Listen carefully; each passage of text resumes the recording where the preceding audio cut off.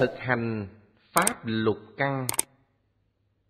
Một lần nọ, Đức Phật và các học trò thấy một con chó chóc. Đó là một loại chó sống trong rừng. Con chó chạy ra khỏi rừng, nơi cư ngụ của nó.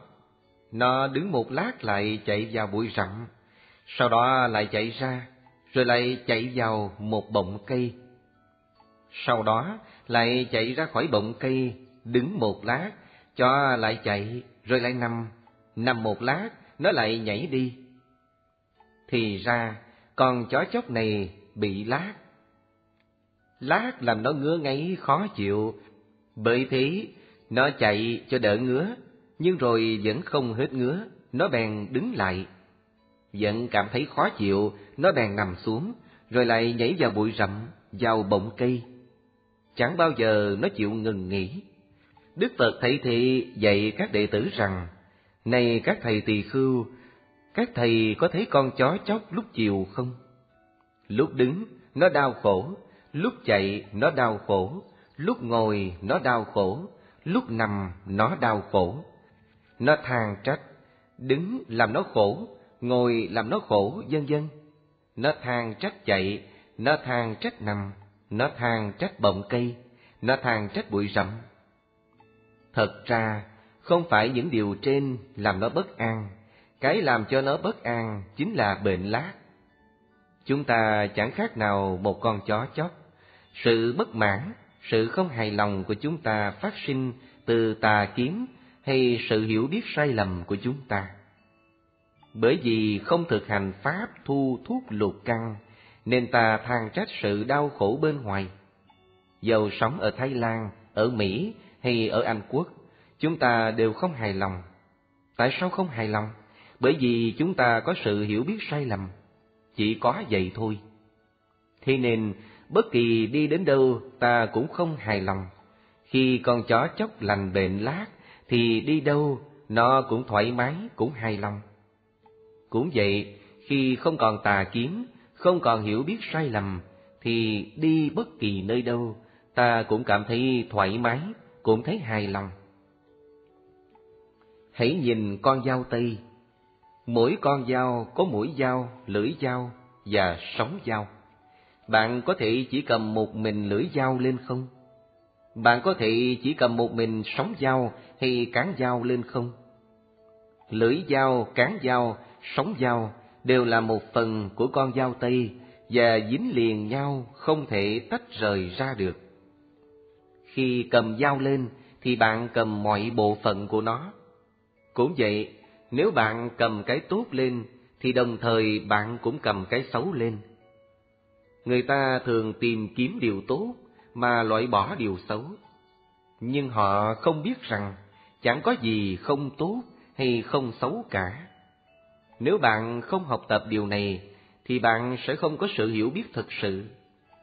Nếu bạn cầm cái tốt lên, thì cái xấu cũng dính liền theo. Nếu bạn cầm hạnh phúc, thì đau khổ cũng đeo theo. Hãy huấn luyện tâm cho đến khi nó vượt lên trên cả tốt và xấu. Đó là lúc việc tu hành hoàn tất. Chúng ta xem hạnh phúc và không hạnh phúc là bất ổn, không vững bền và vô thường. Đồng thời cũng hiểu biết rằng các loại cảm giác cũng không tồn tại lâu dài và không nên bám víu vào chúng. Chúng ta nhìn sự vật theo cách này thì ta có trí tuệ, chúng ta hiểu biết sự vật theo bản chất tự nhiên của chúng. Hiểu biết được như vậy chẳng khác nào gỡ được sợi dây bị thắt nút. Nếu kiên nhẫn và khéo léo tháo gỡ, kéo dây theo chiều thích hợp, nút thắt sẽ được nới lỏng và sợi dây sẽ thẳng trở lại. Chẳng khác nào hiểu biết rằng sự vật không phải luôn luôn ở mãi trong một trạng thái. Trước đây chúng ta tưởng rằng sự vật luôn luôn phải diễn biến theo một chiều hướng nào đó mà không biến đổi theo cách thức khác được. Bởi thế, chúng ta đã kéo cái nút thắt làm cho nó càng chặt hơn.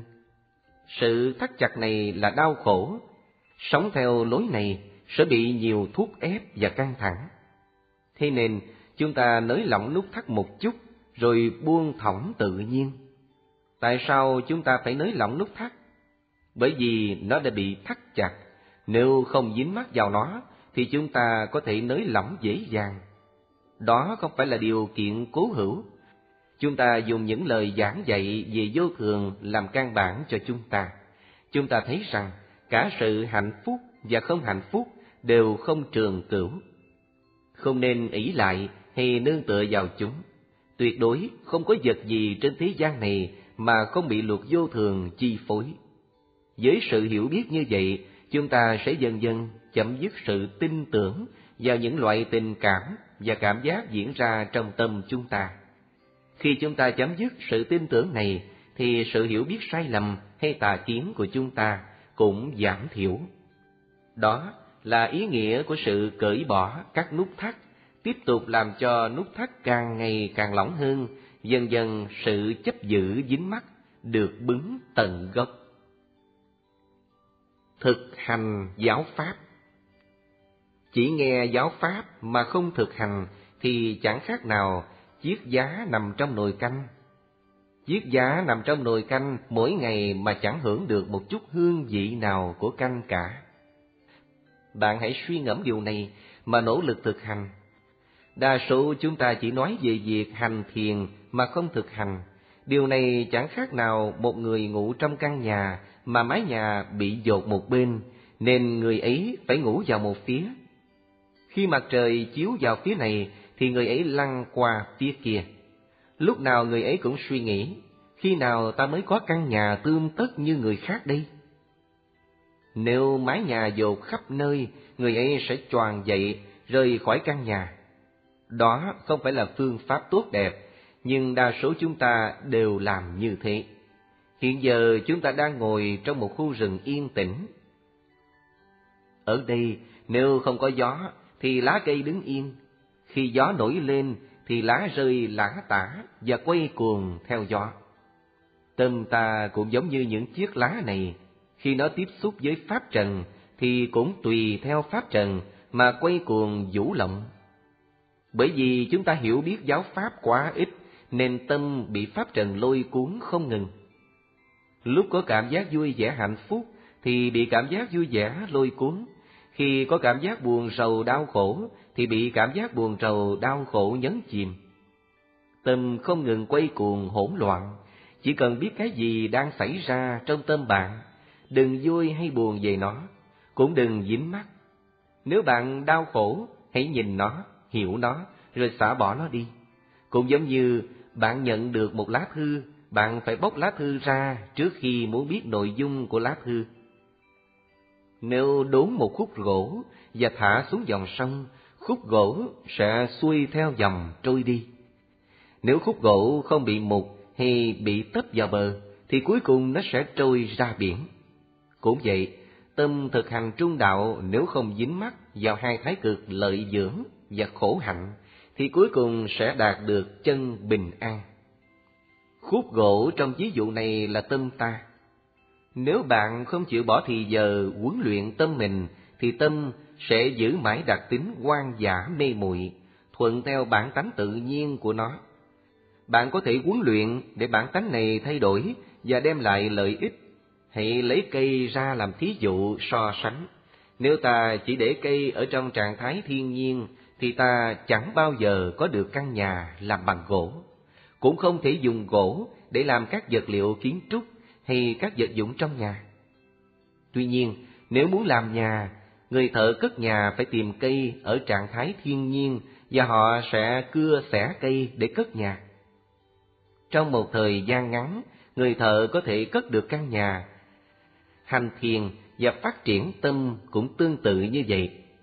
Bạn phải sửa đổi huấn luyện tâm mình như đốn cây thiên nhiên trong rừng và chế biến thành vật hữu dụng. Phải huấn luyện tâm để tâm trở nên tinh tế hơn, chánh niệm tỉnh thức và nhạy bén hơn. Một bên là yêu thương và bên kia là ghét bỏ, hoặc bờ này là hạnh phúc và bờ bên kia là không hạnh phúc. Theo trung đạo thì yêu ghét, hạnh phúc, đau khổ chỉ là những cảm giác thuần túy. Một khi đạt được sự hiểu biết này, tâm sẽ không còn dễ bị lôi cuốn, không còn bị dính mắc vào các cảm giác đó nữa. Đây là sự thực hành để hiểu rõ tâm không nuôi dưỡng bất kỳ cảm giác nào, cũng không chấp giữ dính mắc vào chúng. Được như thế, tâm sẽ tự do trôi xuôi theo dòng nước, không gặp một chút chướng ngại nào, cuối cùng trôi vào đại dương, niết bàn. An vui hạnh phúc không tùy thuộc vào chuyện chúng ta giao tiếp nhiều hay ít người trong xã hội này. An vui hạnh phúc chỉ đến từ chánh kiến. Khi bạn có chánh kiến, có sự hiểu biết đúng đắn, thì an vui hạnh phúc sẽ đến. Nếu có sự hiểu biết đúng đắn, thì bất kỳ sống ở nơi nào, bạn cũng cảm thấy hài lòng.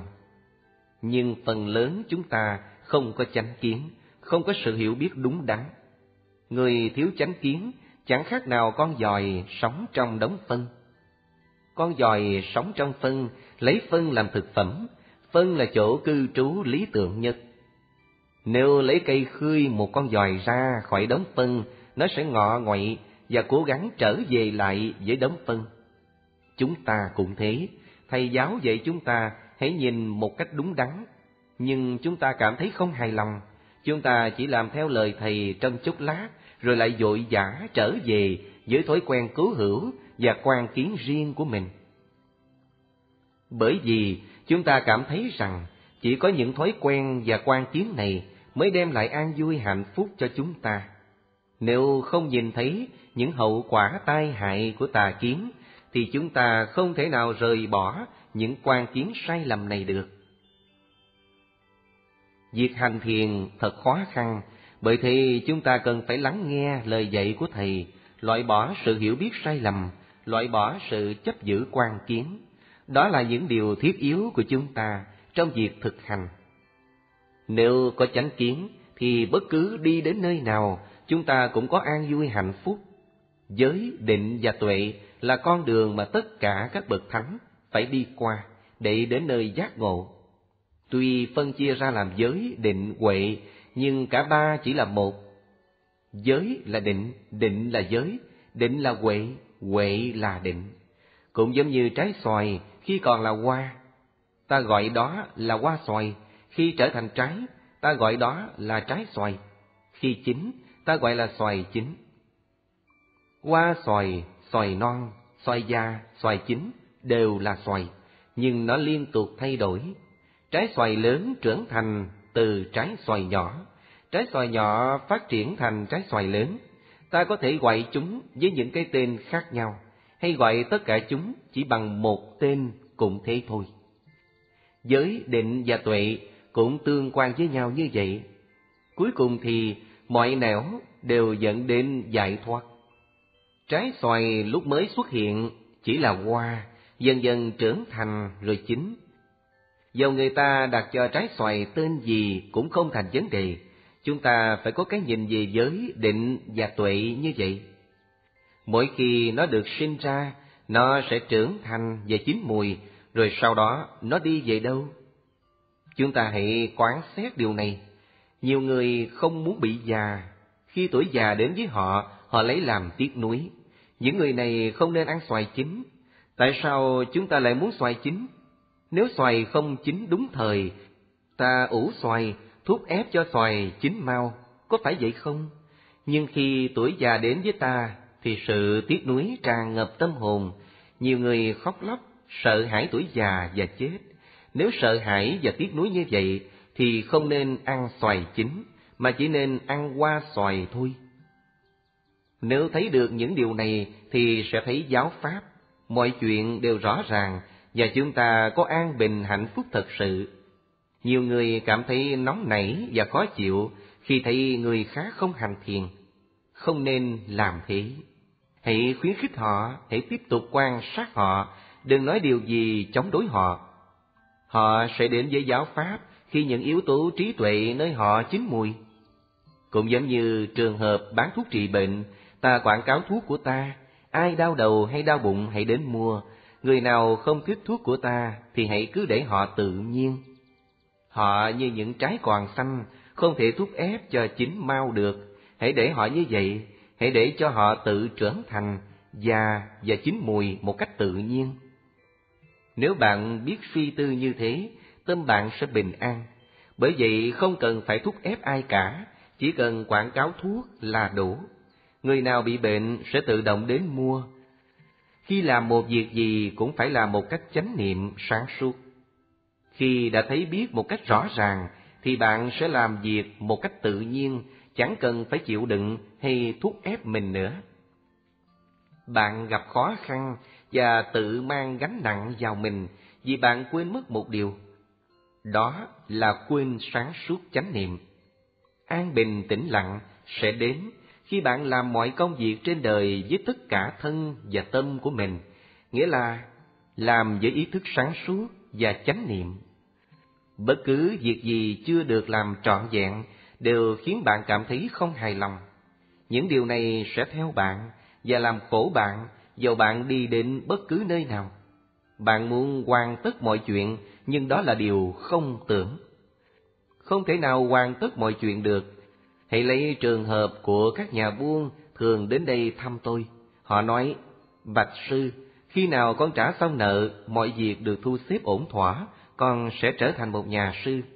Họ nói như vậy, nhưng đến khi nào họ mới trả hết nợ và thu xếp xong công việc của mình?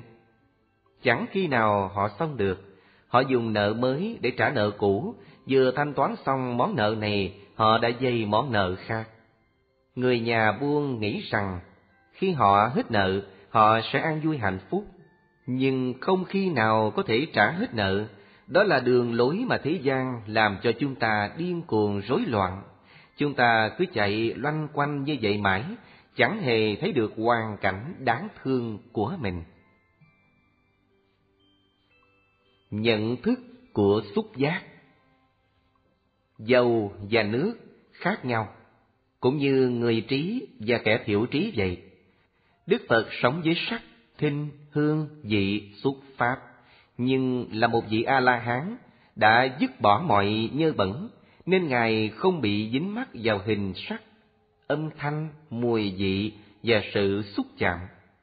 Ngài không bị các loại này chi phối, trên bước đường trở thành bậc giác ngộ, Ngài đã xả bỏ dần dần các dục lạc trần thế, cho đến lúc Ngài hiểu rằng tâm chỉ là tâm và sự suy nghĩ chỉ là sự suy nghĩ. Ngài phân biệt được chúng và không trộn lẫn chúng với nhau. Tâm chỉ là tâm, tư tưởng, cảm giác chỉ là tư tưởng, cảm giác. Hãy để cho sự vật chỉ là sự vật. Hãy để cho hình sắc chỉ là hình sắc âm thanh chỉ là âm thanh, mùi chỉ là mùi, vị chỉ là vị, sự xúc chạm chỉ là sự xúc chạm, và tư tưởng chỉ là tư tưởng. Tại sao chúng ta bối rối, băn khoăn và dính mắc vào chúng? Nếu ta có cảm giác và suy tư theo lối này, thì ta sẽ có tâm xả bỏ, không còn chấp trước nữa. Tư tưởng và cảm giác của chúng ta sẽ nằm một bên, và tâm của chúng ta sẽ nằm một bên như nước và dầu cùng đựng chung trong một chai. Nước nằm theo phần nước, dầu nằm theo phần dầu. Cuối cùng, có người bị bệnh thần kinh. Tại sao vậy? Bởi vì họ không hiểu biết, họ chỉ chiều theo các rung động tình cảm mà không biết cách săn sóc tâm mình. Tâm không có người chiếu cố thì chẳng khác chi trẻ con không có cha mẹ chăm nom săn sóc. Trẻ mồ côi không nơi nương tựa nên rất bất an và đau khổ. Cũng vậy, nếu tâm không được săn sóc huấn luyện, làm cho thuần thuộc bằng chánh kiến, thì sẽ gặp nhiều phiền toái. Giả sử chúng ta có một chiếc xe và một con bò để kéo xe.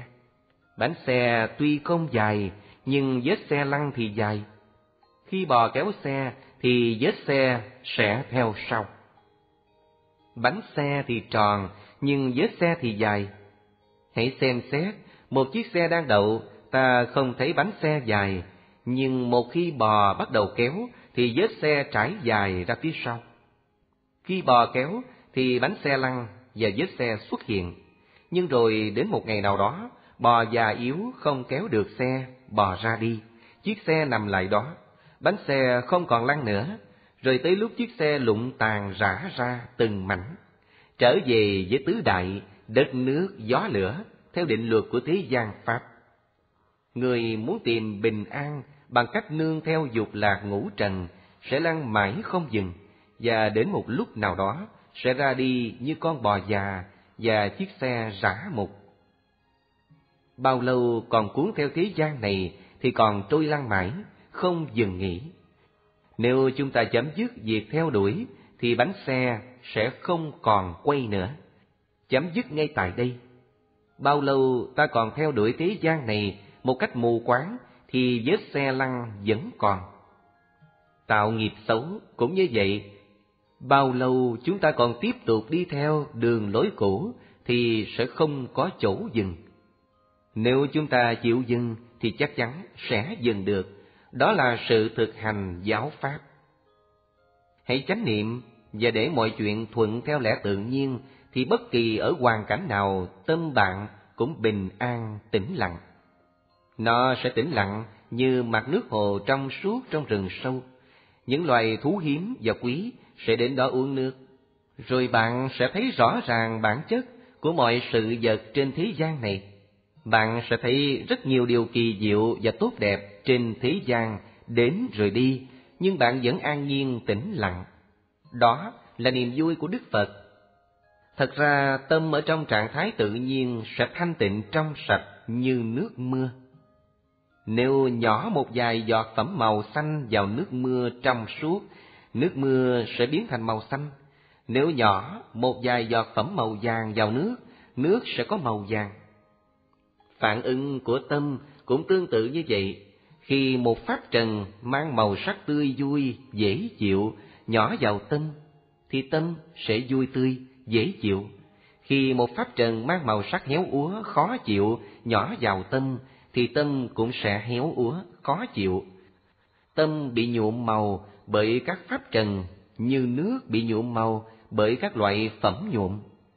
Nước mưa trong sạch, không màu sắc, nhưng khi gặp màu vàng sẽ đổi sang màu vàng, khi gặp màu xanh sẽ chuyển sang màu xanh. Nước sẽ đổi màu sắc liên hồi theo phẩm màu. Thật ra, dầu đã chuyển sang xanh hay vàng, bản chất tự nhiên của nước vốn vẫn trong suốt sạch sẽ. Bản chất của tâm vốn cũng trong suốt thanh tịnh, nhưng tâm bị ô nhiễm vì bị các pháp trần nhuộm màu, bị mê loạn trong các xung đột tình cảm. Sinh lão bệnh tử Cơ thể già và bệnh là chuyện tự nhiên, chẳng có gì sai quấy cả. Bởi thì chẳng phải cơ thể chúng ta làm cho chúng ta đau khổ, mà ý nghĩ sai lầm đã đem lại đau khổ cho chúng ta. Khi chúng ta thấy sai sự thật, thì phiền não đương nhiên sẽ đến. Ví như nước trong dòng sông, bản tánh tự nhiên của nước là chảy xuống chỗ thấp. Nước từ đồi chảy xuống, chẳng bao giờ nước chảy ngược lên đồi, đó là đặc tính riêng của nước. Đứng bên bờ sông nhìn nước từ cao chảy xuống, nếu ta có ý muốn nước chảy ngược lên, thì ta sẽ đau khổ. Đau khổ vì chúng ta có ý nghĩ sai lầm hay tà kiến. Ý nghĩ của chúng ta đi ngược dòng. Nếu có chánh kiến, ta sẽ thấy rằng nước phải chảy từ cao xuống thấp. Vì không hiểu rõ và chấp nhận định luật tự nhiên này, nên chúng ta luôn luôn bị dao động và buồn khổ. Do đó, chẳng bao giờ tìm được sự bình an tâm hồn. Nước phải chảy từ cao xuống thấp, cơ thể chúng ta cũng vậy. Nó phải trải qua giai đoạn trẻ trung, già yếu, bệnh hoạn rồi chết. Đó là chuyện tự nhiên. Đừng kỳ vọng nó diễn biến theo đường lối phản tự nhiên.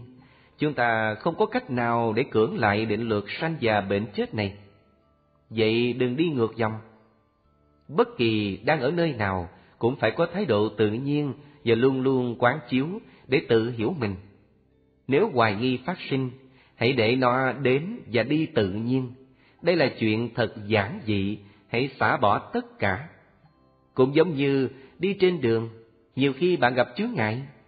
Khi gặp phiền não, hãy nhìn chúng, chế ngự chúng, rồi xả bỏ, để chúng tự ra đi. Đừng nghĩ tưởng tới những chướng ngại đã qua, đừng lo âu về những chướng ngại chưa đến, hãy sống trong hiện tại, đừng quan tâm đến chiều dài của con đường, cũng đừng để ý tới nơi sẽ đến. Mọi chuyện đều thay đổi, những gì đã gặp qua hãy xả bỏ, cuối cùng tâm sẽ đạt được trạng thái quân bình. Bây giờ dầu bạn đang ngồi nhắm mắt hay đang dạo bước trong phố thị ồn ào, thì tâm bạn vẫn bình an tĩnh lặng. Xả bỏ hay làm với tâm trống không là hai đề tài ít người hiểu được, vì chúng đi ngược lại quan niệm thông thường của người đời. Nếu dùng ngôn ngữ của người thế gian để giải thích xả bỏ và làm với tâm trống không thì dễ gây nên lầm lẫn, vì con người luôn luôn có tư tưởng, tôi có thể làm những gì tôi muốn. Có thể giải thích như vậy, nhưng ý nghĩa thật sự của nó như sau. Như trường hợp chúng ta khiêng một tảng đá nặng, khiêng được một lát ta cảm thấy nặng, nhưng chúng ta không biết làm thế nào để dứt bỏ. Bởi thế, ta luôn luôn chịu đựng gánh nặng này. Nếu có ai bảo chúng ta dứt tảng đá đó đi, chúng ta sẽ trả lời, nếu dứt bỏ nó đi thì tôi còn có gì đâu. Thậm chí, nếu người ta giải thích cho chúng ta biết lợi ích của sự trút bỏ gánh nặng, chúng ta sẽ không tin mà tiếp tục suy nghĩ. Nếu dứt bỏ tảng đá này đi, ta sẽ chẳng còn gì cả. Thế là ta tiếp tục khiêng tảng đá nặng cho đến khi không chịu đựng được nữa, mệt nhoài và đuối sức. Lúc bấy giờ, ta phải để tảng đá xuống. Khi đã bỏ tảng đá xuống, bỗng nhiên ta cảm thấy lợi ích của sự dứt bỏ tảng đá. Ngay tức khắc, ta cảm thấy nhẹ nhàng hơn, thoải mái hơn, và ta tự hiểu được sức nặng lớn lao mà ta đã nhận chịu khi khiêng tảng đá. Trước khi dứt bỏ tảng đá, chúng ta không biết đến lợi ích của sự xả bỏ. Về sau chúng ta có thể lặp lại việc khiên tảng đá một lần nữa, nhưng bây giờ chúng ta đã hiểu được hậu quả của việc mang gánh nặng. Bởi thế chúng ta có thể dễ dàng dứt bỏ nó đi. Sự hiểu biết rằng mang gánh nặng là vô ích và xả bỏ đem lại sự nhẹ nhàng, thoải mái là một ví dụ điển hình về sự tự hiểu chính mình. Tính tự tôn tự đại của chúng ta, sự dính mắc, lệ thuộc vào tự ngã của chúng ta, chẳng khác nào tảng đá nặng. Ta không muốn dứt bỏ tự ngã, vì sợ rằng sau khi dứt bỏ thì chẳng còn gì cả.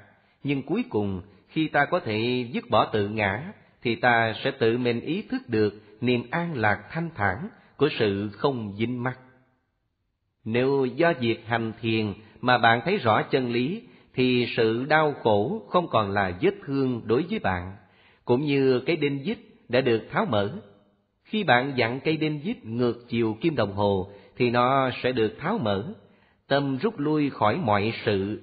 Cũng vậy, tâm xả bỏ tất cả, tâm không còn bị cột chặt vào tốt, xấu, quyền sở hữu, khen chi, hạnh phúc và đau khổ. Nếu không hiểu chân lý thì chẳng khác nào luôn luôn siết chặt cây đinh dít lại. Bạn dặn chặt nó cho đến khi nó phản ứng lại và bạn sẽ bị đau khổ về mọi chuyện. Khi tháo mở tất cả, bạn sẽ tự do và an lạc.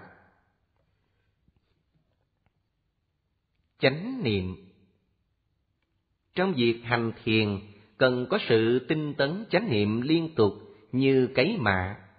Trong khi cấy mạ, nếu bạn cấy mạ ở nơi này vài hôm, lại nhổ lên cấy ở nơi khác, rồi chừng vài hôm sau, bạn lại nhổ lên cấy ở một nơi khác nữa. Cứ làm như thế mãi, cây mạ sẽ không bao giờ tăng trưởng, ra hoa và kết hạt được. Trong việc hành thiền cũng vậy, nếu bạn hành thiền độ bảy hôm, lại nghỉ bảy tháng, đi lanh quanh đây đó làm ô nhiễm tâm, sau đó trở về sống độc cư, giữ im lặng trong bảy ngày nữa, rồi lại tiếp tục ra đi, thì việc hành thiền của bạn sẽ không phát triển. Bởi vậy, cần phải hành thiền liên tục. Tuy nhiên, đối với các cư sĩ tại gia, vì bận rộn công việc làm ăn, nên mỗi năm chỉ đi dự vài khóa thiền, thì họ cần phải mỗi ngày để ra từ một đến hai giờ để hành thiền và cố gắng ghi nhận chánh niệm các tác động hàng ngày càng nhiều càng tốt. Có như thế, việc hành thiền mới tiến triển tốt đẹp. Khi nói tâm tĩnh lặng, ta muốn nói rằng tâm đứng yên, không phóng đi đây đi đó. Cũng như khi có con dao bén, nếu ta không biết giữ gìn dao, gặp thứ gì cũng cắt, như dùng dao để cắt gạch, cắt đá, cắt kiến dần dần, thì dao sẽ chóng lục Chúng ta chỉ nên dùng dao để cắt các vật hữu dụng thôi. Tâm chúng ta cũng vậy, nếu để tâm lan bạc theo tư tưởng và cảm giác vô dụng hay vô giá trị, thì tâm sẽ trở nên yếu kém, vì nó chẳng có cơ hội để nghỉ ngơi. Nếu tâm không đủ năng lực thì trí tuệ sẽ không phát sinh, bởi vì tâm thiếu năng lực là tâm không có định lực. Con người luôn luôn tìm cầu hạnh phúc và ghét đau khổ, nhưng hạnh phúc là một hình thức di tế của khổ đau. Chúng ta có thể so sánh hạnh phúc và khổ đau với một con rắn. Đầu rắn là đau khổ, đuôi rắn là hạnh phúc. Đầu rắn rất nguy hiểm vì có răng độc. Nếu đụng vào đầu rắn, rắn sẽ cắn ngay. Nhưng nói chi đến đầu, bạn chỉ cần sờ vào đuôi rắn, rắn cũng quay đầu lại cắn bạn liền. Bởi vì cả đầu lẫn đuôi đều thuộc về một con rắn. Cũng thế, hạnh phúc và đau khổ, vui và buồn đều khởi từ một con rắn. Đó là tham muốn. Bởi thế, khi có hạnh phúc thì tâm chưa hẳn đã có an bình thật sự. Chẳng hạn khi ta có được vật ưa thích như giàu sang, uy quyền, lời tán dương thì chúng ta hài lòng vui thích, nhưng tâm vẫn bất an vì lo sợ mất chúng. Sự bất an, sợ hãi này không phải là trạng thái hạnh phúc. Sau này có thể chúng ta sẽ thật sự mất những thứ ấy, rồi sẽ thật sự đau khổ.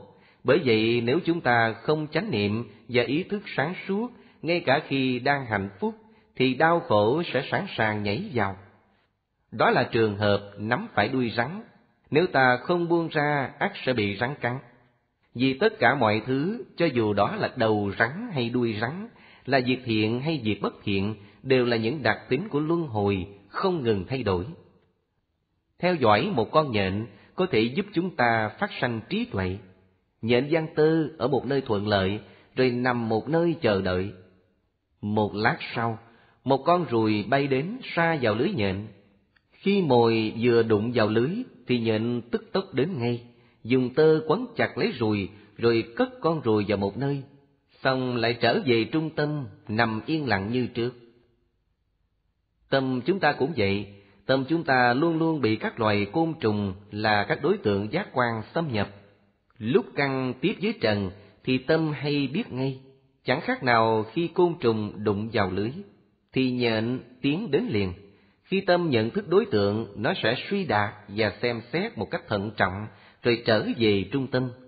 Trở về trung tâm có nghĩa là sống chánh niệm với sự hiểu biết rõ ràng, luôn luôn có ý thức sáng suốt, và làm mọi việc một cách chính xác, đó là trung tâm của chúng ta.